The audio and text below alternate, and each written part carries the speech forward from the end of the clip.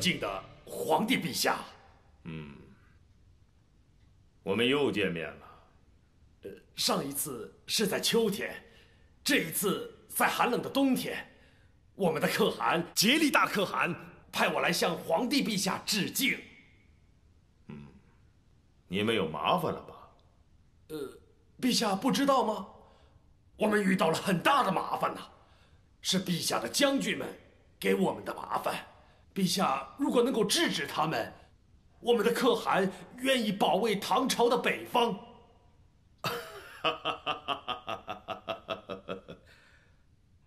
好啊，如果你们能够制止草原十八部不再给我们找麻烦，当然很好。呃，陛下，我们的可汗其实就是草原十八部的可汗。朕当然知道。朕以为你不知道。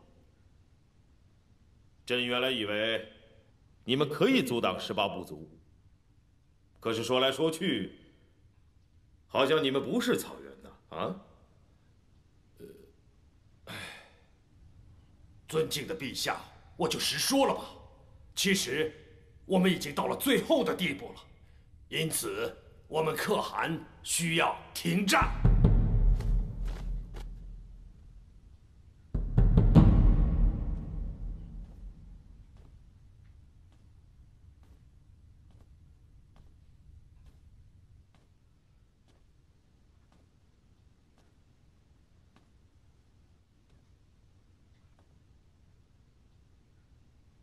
说，为什么不投降？呃，陛下，我们的可汗说保卫唐朝的北方，哎，其实就是投降的意思。这要看着竭力亲自到我面前投降。不战而屈人之兵，丁之上者。既然愿意投降，我们可以少牺牲，多获利。我以为应该接受投降。陛下，杰里这个人从来不讲信用，投降恐怕只是缓兵之计。这次出兵到目前的地步，是将军们的胜利，并非是我们的国力已经强大到可以一举解决。要一举解决，我认为还是要再积累数年呐。你呢？你怎么看？右丞的议论有道理。能和不如先和，但和的条件要苛，防止之后的反复。和，我有不甘。战，目前我们的军力还不够。如果能做到红炉青的和。军力的元气还在，元气还在，就不怕反复。这样吧，洪龙清，臣在。你还是走一趟，看一看草原十八部到了什么情况。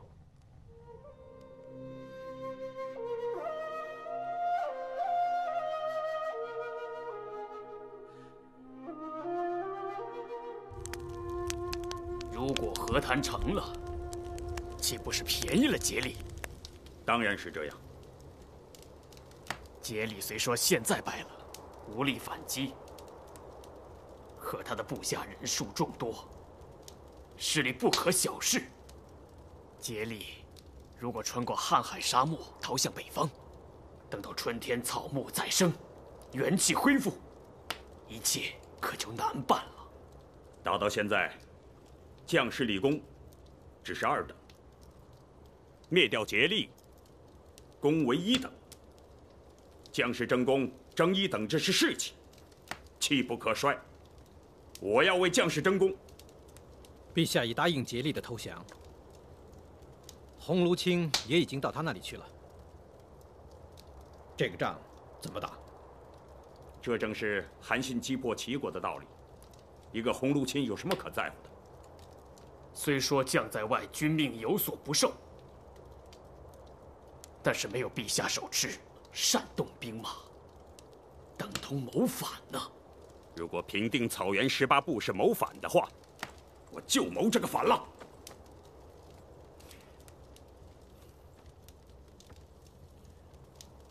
听令！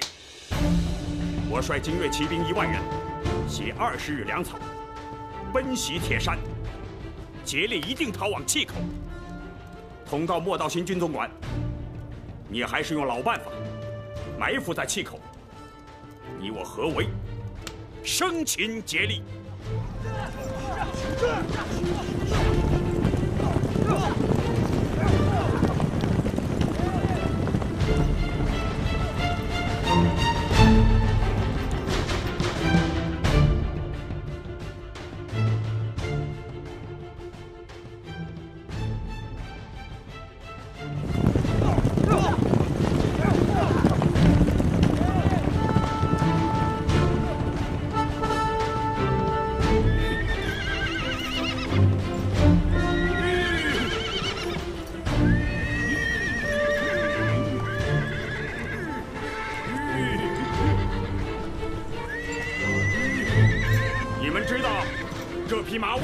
停不下来吗？不知道，不知道。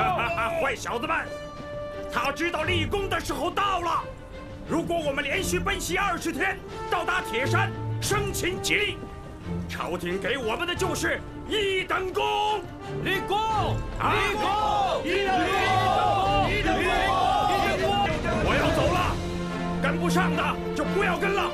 哈哈哈哈哈哈哈哈！哈哈哈哈哈哈！驾！驾！驾！驾！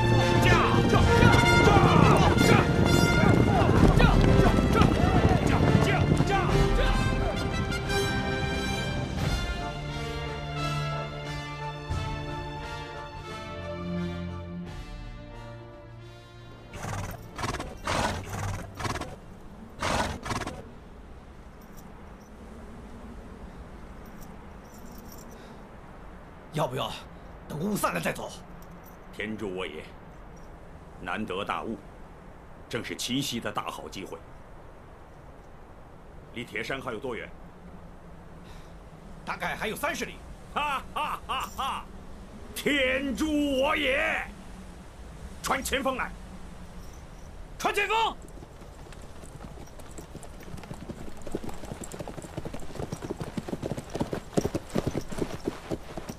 率两百人，加速前进，发现草原十八部营地，鸣笛，你给我只管往里冲！是。要快，要快呀！不要散。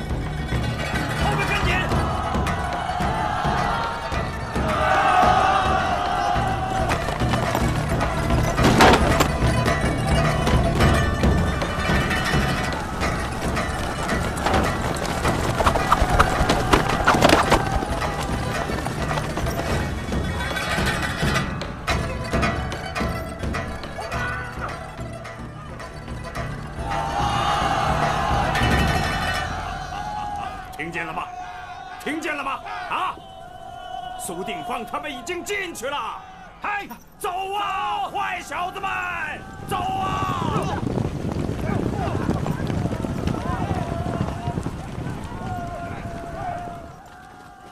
嗯，什么声音？这是什么？这是什么声音？你们不讲信用，你们背信弃义！别急，别急，哈，这是你们的人在体内讧吧？报告，唐军杀进来了。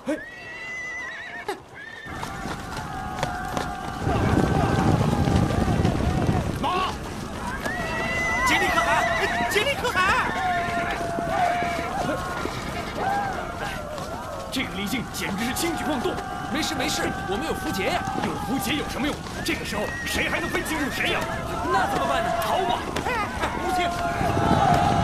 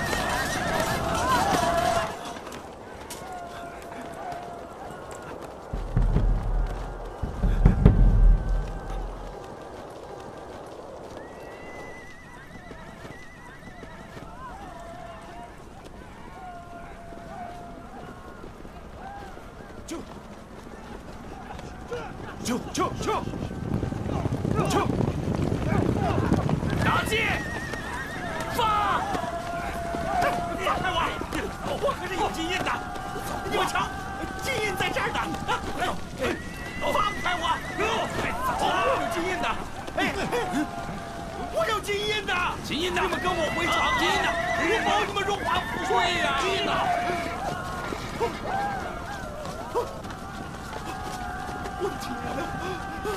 我的金印呢？金金，我的金印呢？我的，哎呀，哎呀，金印在哪儿呢？啊，金印呢？我的金印呢？宰了他！我的金印呢？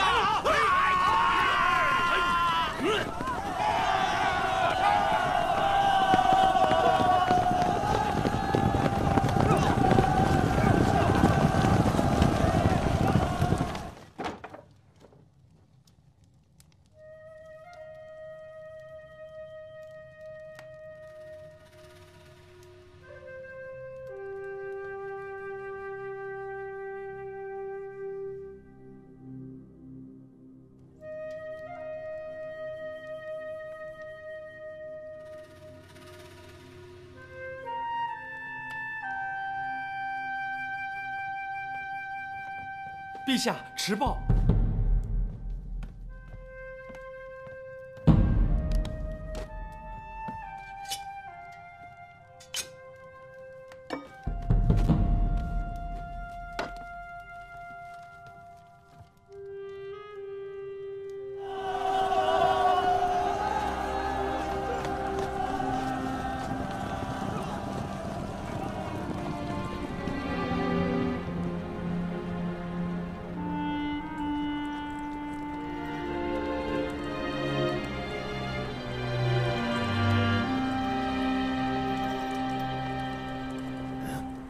竭力，还不投降吗？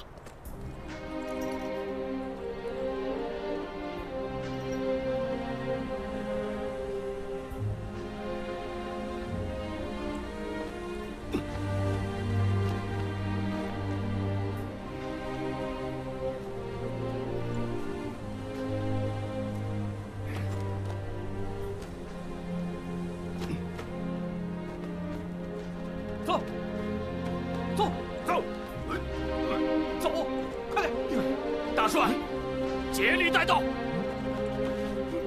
跪下！交出你的可汗金印，没来得及带走。砍下他的头！金印，我确实没来得及带。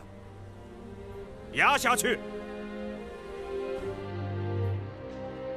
定襄道行军总管军情持报。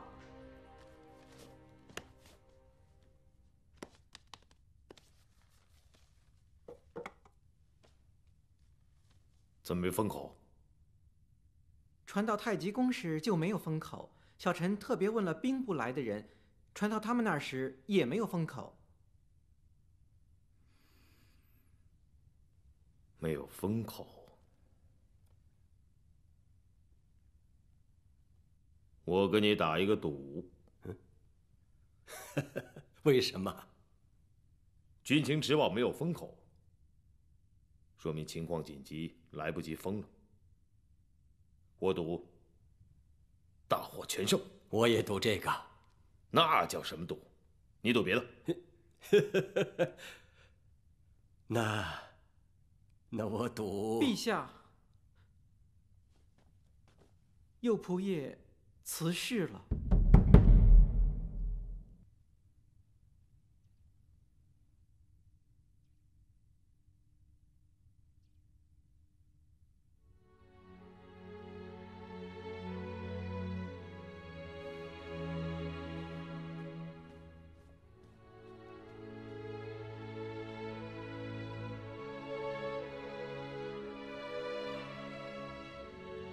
陛下，我还是赌大获全胜。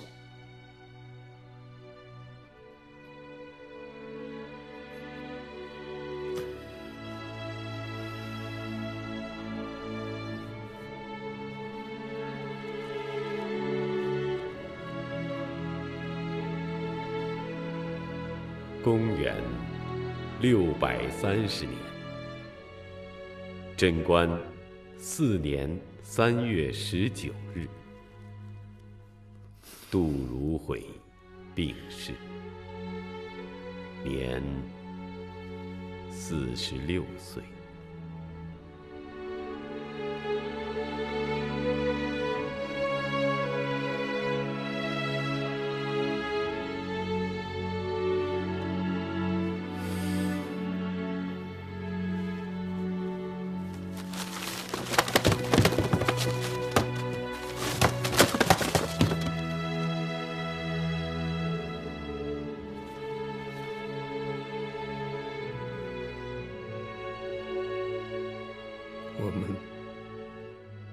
都赢了。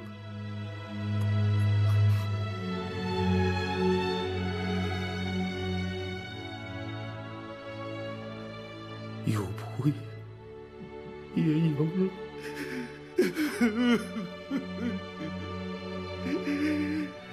如果有仆也还活着，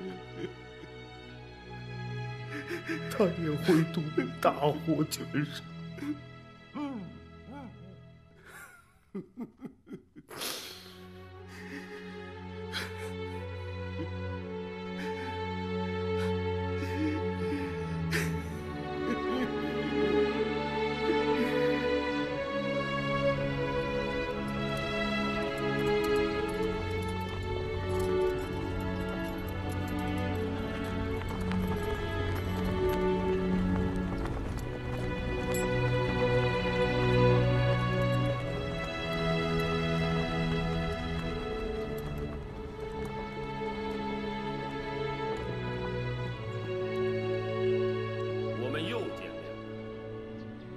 上一次，武德九年，你亲自来到渭河边。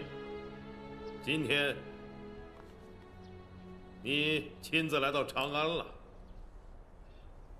你的父亲和你的哥哥都是伟大的可汗，十八部族也是强大的民族。念及我们在渭河便桥结盟之后，你没有大的侵扰，朕赦免你的死罪。把囚车打开。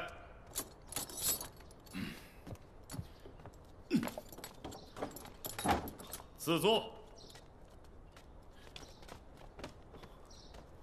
谢陛下不杀之恩。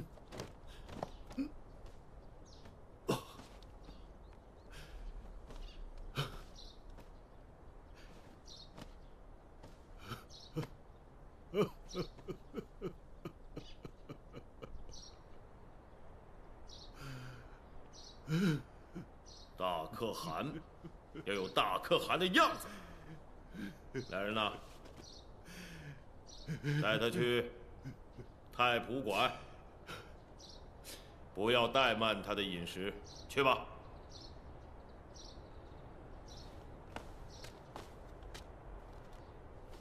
谢陛下。